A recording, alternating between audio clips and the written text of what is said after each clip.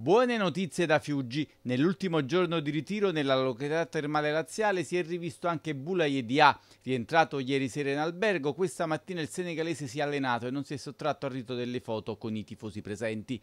Dia aveva usufruito di un permesso per un paio di giorni per motivi personali e la società gli ha fatto sentire la sua vicinanza per qualsiasi necessità.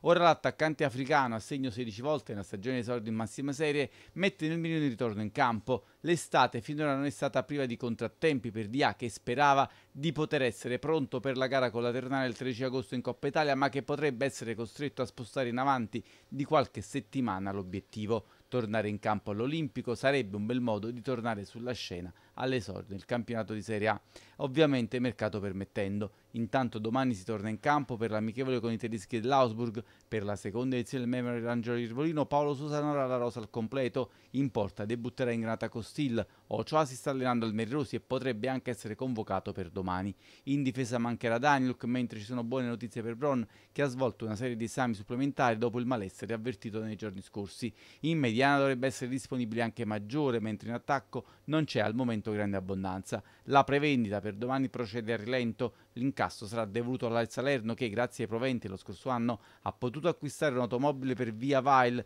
il servizio di taxi solidale per i pazienti che non possono raggiungere autonomamente le strutture ospedaliere per le terapie. La vettura sarà inaugurata ufficialmente prima della partita. In questa seconda edizione l'Al Salerno si propone di raccogliere fondi per raggiungere l'obiettivo di portare l'ospedale a casa dei pazienti ed implementare così il progetto di continuità assistenziale e cure domiciliari particolarmente importante per un territorio esteso come la provincia di Salerno.